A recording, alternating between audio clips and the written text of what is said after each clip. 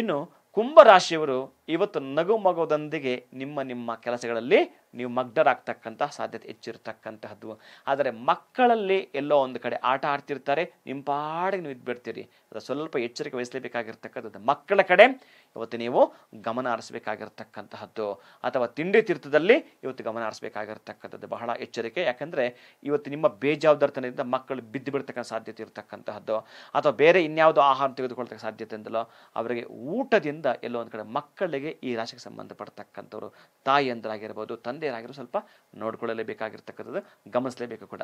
ಇನ್ನು ಇವತ್ತು ನೀವು ಮಾಡ್ತಕ್ಕಂಥ ಕೆಲಸಗಳಲ್ಲಿ ಪ್ರಗತಿಯನ್ನು ಕಾಣಬೇಕಾದರೆ ನಿಮ್ಮದೇ ಡೇಟ್ ಆಫ್ ಬರ್ತ್ ಇರ್ತಕ್ಕಂತಹದ್ದು ಏನಿದೆಯೋ ಆ ಡೇಟಾ ಬರೆದಿರ್ತಕ್ಕಂತಹದ್ದು ಫಾರ್ ಎಕ್ಸಾಂಪಲ್ ಸಾವಿರದ ಒಂಬೈನೂರ ತೊಂಬತ್ತೊಂದು ಅಥವಾ ತೊಂಬತ್ತೆರಡು ಈ ರಾಶಿ, ಈ ರಾಶಿಯವರು ಇದ್ದರೆ ಆ ಸಂಖ್ಯೆಯನ್ನು ಕಾಯನ್ನು ಇವತ್ತು ಇಟ್ಕೊಂಡು ಹೋಗ್ತಕ್ಕಂತಹದ್ದು ಕೆಲಸ ಆಗುವಂಥದ್ದು.